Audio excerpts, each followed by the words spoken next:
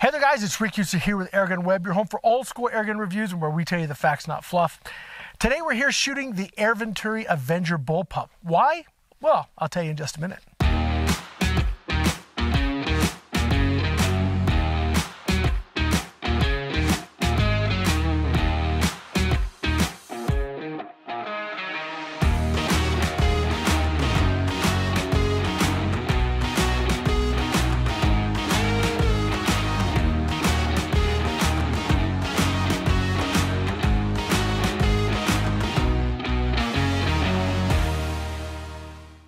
All right, guys, before we get started, I want to say thank you to Pyramyd Air. They've been a sponsor, a really amazing sponsor for Airgun Web since 2009. That's when I actually started doing this work. It's been a lot, a lot of years, and it's been a lot of fun. But Pyramyd Air has been like there from the beginning. And if you guys need an airgun, uh, compressor, pellets, scope, uh, anything that you need to shoot or the stuff that helps you shoot better, check them out www.pyramydair.com.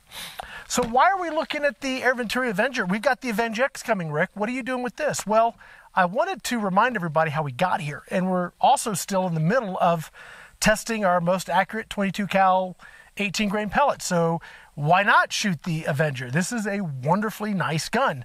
Now, I know I've said on the channel many times that bullpups aren't my thing, and here's my reason. The scope's uh, flies. The scope on a bullpup, because of the way it's lined up, at least on this one, has to be really high. And for me, the center of gravity wants to teeter totter on me. Now, not everybody has that issue. That's sort of my thing. But hey, if you like bullpups and they shoot good for you and you enjoy the ergonomics, great. Uh, I prefer a rifle, but yet, hey man, if I'm shooting it and it's performing, I'll tell you what matters most to me uh, above looks, above ergonomics, and that's performance. And when the gun performs as well as this thing does, I sort of overlook things like oh, the scope's a little high. So we're gonna jump right into it. I've got our three pellets here, which is, uh, we've got our 1813s from JSB, um, we've got our JTSs, and we've got our H&Ns. I got a new tin of H&Ns because we're gonna need them today. Um, I've done a little teeny bit of shooting just to get our scope sighted.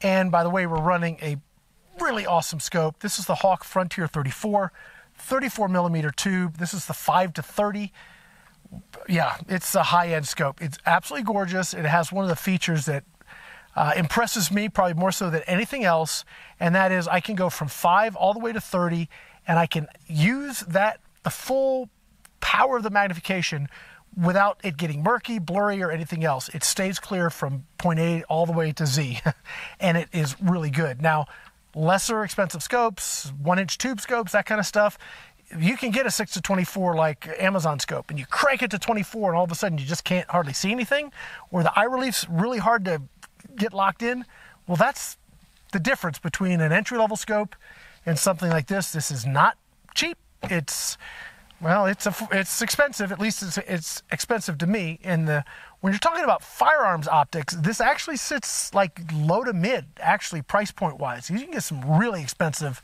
firearm scopes They're very, very expensive. But for air gunners, eleven, twelve hundred dollars, that's a lot of money for us to spend on a scope. And this is between that thousand to twelve hundred range. I don't remember the prices exactly, but it's in that range. And that's a lot of money to spend on glass for an air gun. But if you want to be looking through something that's super clear, the Frontier 34s, I at least last time I checked, it's the best Hawke has on their uh, has for their offerings right now.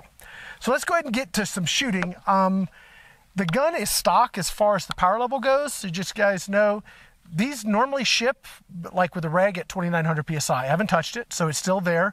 That's too hot, frankly, in a 22. We're shooting 22s today. Um, I would back that down to somewhere, oh, probably 2100, 2200 psi, but I'm not gonna do that today. I'm gonna run it stock, just like if you pulled it out of the box and you didn't have a chronograph and you're just gonna shoot it, this is what you'd be getting, so let's shoot it from there. Uh, and I haven't touched the trigger. I really don't think this needs the trigger messed with. It's that good. And we're at 52 yards today. So let's go ahead and get started. The conditions allow for us to shoot um, further today, which is awesome. All right. So we'll start with the 1813s. Oh, come here.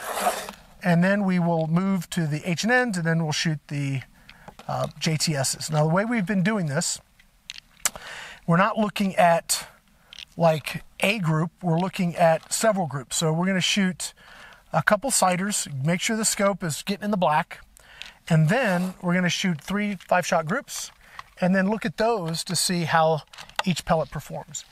I'm going to start with the upper left hand target. Okay, here we go. First shot. Low left.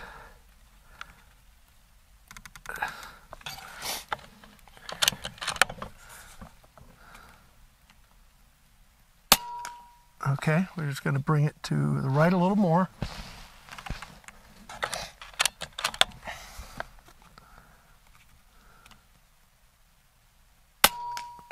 All right, we can work with that. Okay, I'm to go ahead and reload this so we can just shoot two five shot groups right in a row, and then we'll get our last group. And then after this, I'll check my uh, pressure. I'll probably go top this off. I don't remember how many shots I get out of this because it's been a while, but um, the fill pressure is 4,300. The reg's sitting at three. We're at about 3,800 right now, so we got plenty of plenty of air to to do our first round of tests here. Okay, here we go. First shot group. One.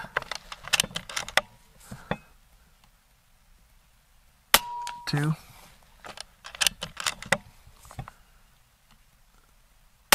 Three. Four.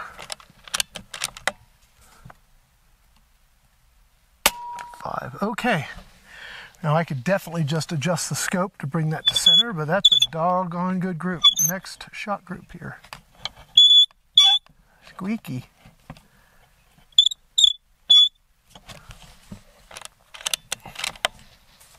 All right, here we go. Next five shot group. One. These are flying too fast, I'll tell you that right now. Two. Because they're not they're not flying straight. They're a little bit unstable. Three. Four.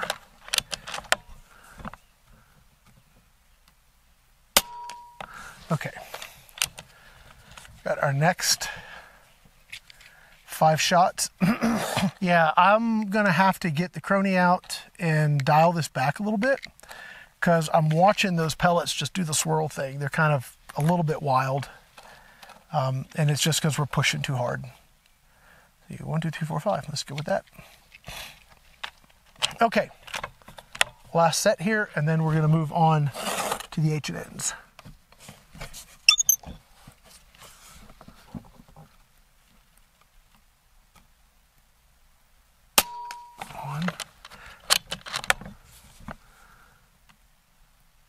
two, three,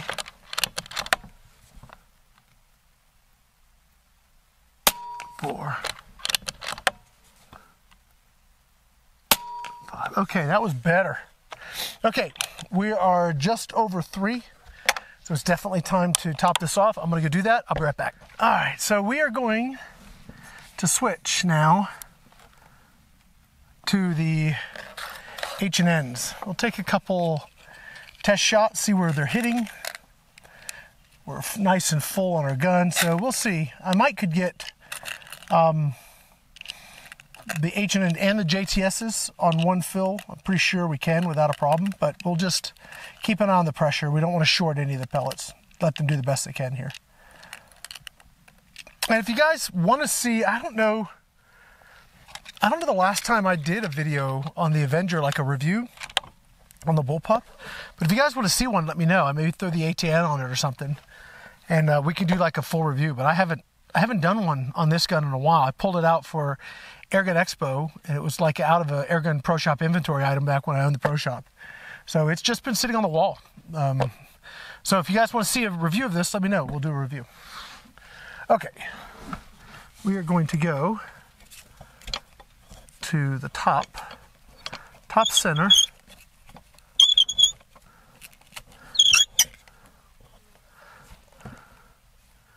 Okay, um, I'm going to go ahead and take a shot. Oh, those flew more straighter. Take another one. Oh, that was terrible. Ooh, okay, we'll try again here. Okay, so we're shooting, we're hitting high.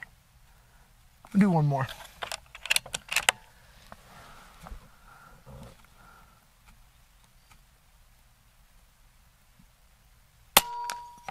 Okay, so I know what I'm gonna do. I'm just gonna use my mil dots and adjust. We should be good to go. At least that first one was probably an oddball. It flew straight though, just not where we wanted. Didn't have that swirly thing going.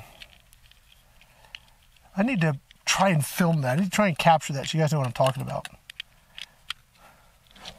All right, here we go.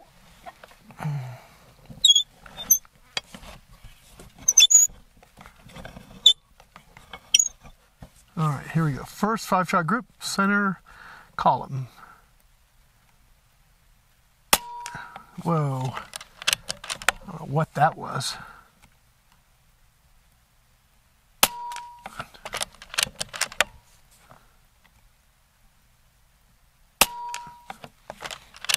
No, that's just all over. That is terrible. Okay. That is just awful. How can we go from what we had above, which we had a bunch of them grouped just a little bit high, to that last group? That's crazy. Um, I'm going to try to put them on the bull. Just using my mil dots here, guys.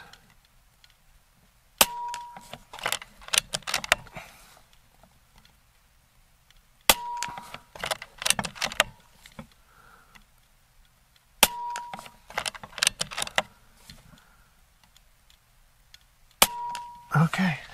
Yeah, I can I can definitely see that uh, the H and N's are not are not happy, not at all.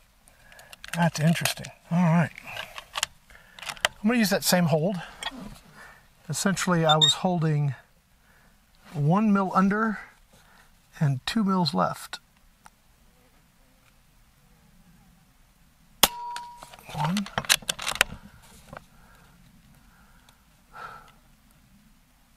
Two.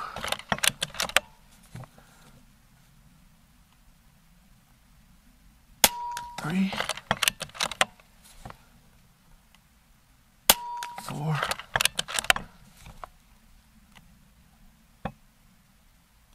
Five. That was, those last two groups were not great. I was trying to salvage something out of those, but I just don't think, yeah, the H and N's in this, Mm-mm. All right, so let's go now. I'm gonna switch over to JT. I'm not even gonna try and put that back on maybe because it's like acting funky. Oh, we got it. Okay, JTS, and I do have enough air. We're at 3,800, so we should be able to do this. Oh, those go in tight. I remember now. They're, they're larger. From everything I can tell, the JTS head size is just larger. If that their secret sauce or not, I don't know. Ah, oh, that's squeaky noise. Okay.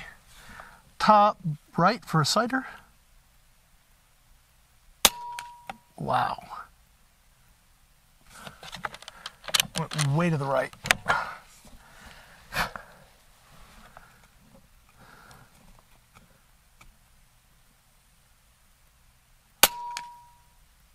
Okay. Let's see what our third shot looks like.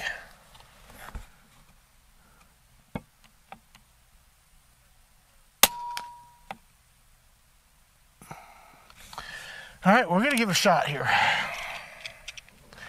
That's not looking promising. And I think we're pushing too hard. I just think we're we're driving a little too hard. All right, here we go. Oh. I'm going to use my mil dots to adjust. And yeah, I'm just gonna aim two mils left. Here we go. One.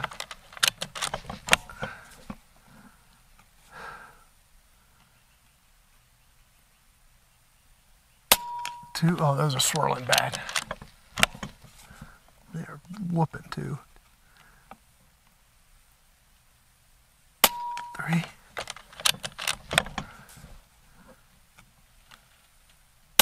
Four.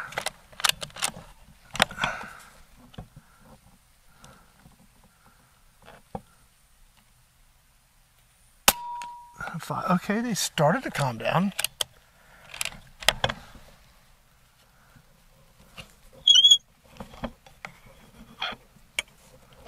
Um, those shot about one mil. We got a little wind coming up. Nice breeze. I'm to aim a little less left.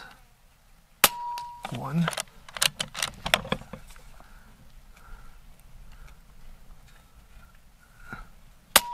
Two. See, here's the problem. I need wind to shoot straight. Pretty sure that's the that's the deal. When it's calm, I can't seem to shoot straight. Give me some wind, I do better. That's funny. Three. Get off me, fly. Four.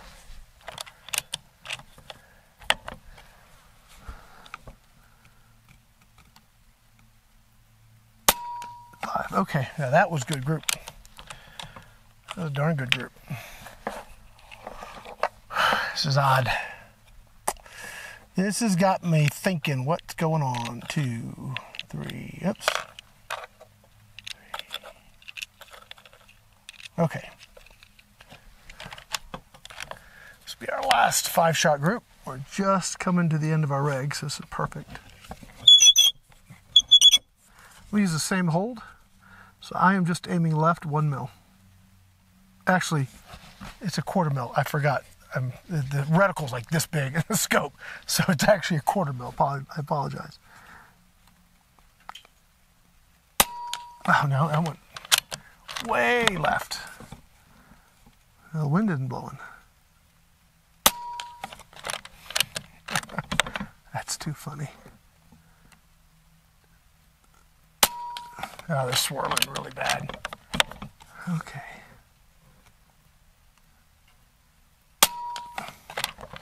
I shot.